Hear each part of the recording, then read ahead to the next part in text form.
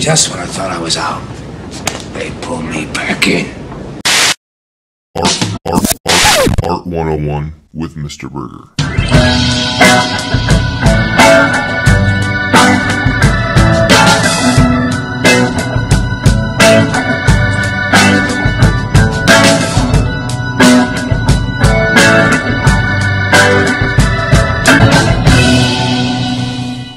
Hello again, scholars, and welcome back to yet another fun filled, action packed episode of Art 101 with me, Mr. Burgher. I'm a professional artist and master educator attempting to bring you the best in our historical content. If you like this one, please give it a like, a share, subscribe, and interaction. It goes a long way, and I have much appreciation to those that do. Thank you. Oh, you are so full of crap.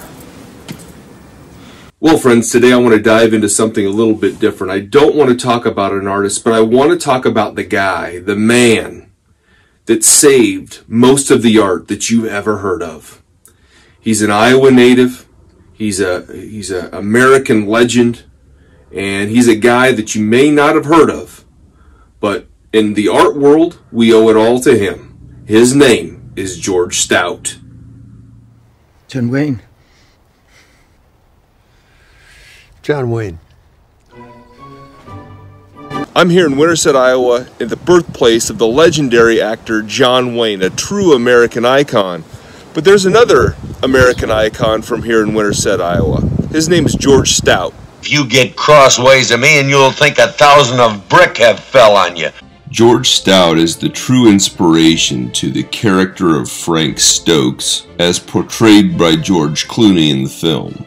After graduating from high school in Winterset, Iowa, and attending Grinnell College for two years, he would join the Army's medical unit and serve in World War I. After the war, he would go on to the University of Iowa where he would study drawing.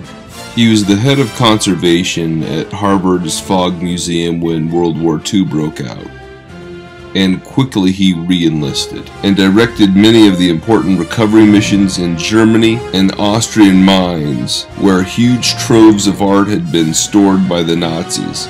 Stout and a team of 15 first arrived at Normandy on July the 4th, a month after the storming of Normandy.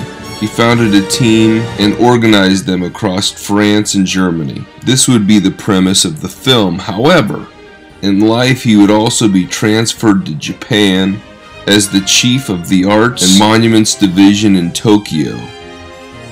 He was awarded the Bronze Star and the Army Commendation Medal. Lincoln Kirstein, a fellow monuments man, put it best. George Stout was the greatest war hero of all time. He actually saved all of the art that everybody else talks about.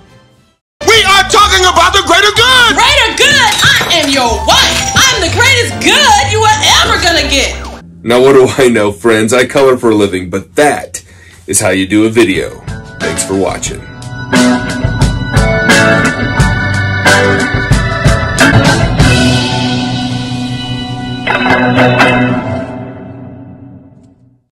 I won't be wronged. I won't be insulted. I won't be laid a hand on.